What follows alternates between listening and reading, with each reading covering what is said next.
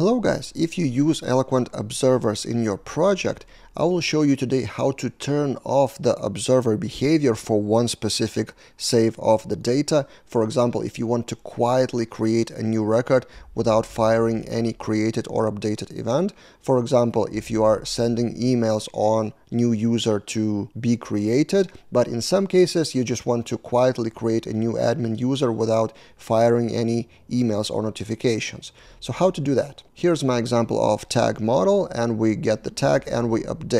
And in our case, the updated observer, which is registered in the app service provider, would just log the information into Laravel log file, which is currently empty. So in the database, we have the tag which is not 789, the latest tag is tag 4, and if we launch that in our Tinkerwell, the result is true, which is returned by update method. We refresh the database, the data is updated, and Laravel log has a new line tag updated. Now let's change that to 7890 for example and change update to a specific function called update quietly.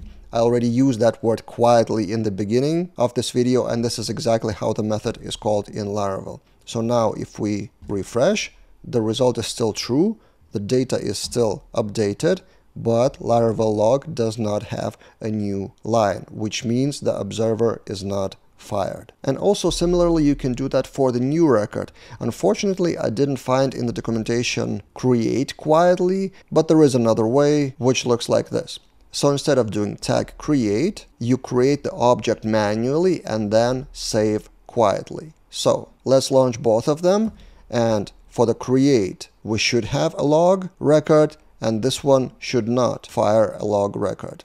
In the database, we have both records and in the log, we have only one line, which means, as I said, this one triggered the observer this one did not. So yeah, if you want to update or create the data and do not fire the Eloquent Observer events, use update quietly or create a new record with save quietly. In the Laravel docs, they also mention three more methods, which is delete quietly, force delete quietly, and restore quietly, which would also not fire observer events. That's it, kind of a quick tip this time. Subscribe to the channel to get more tips like this one, still daily, for years now, and see you guys in other videos.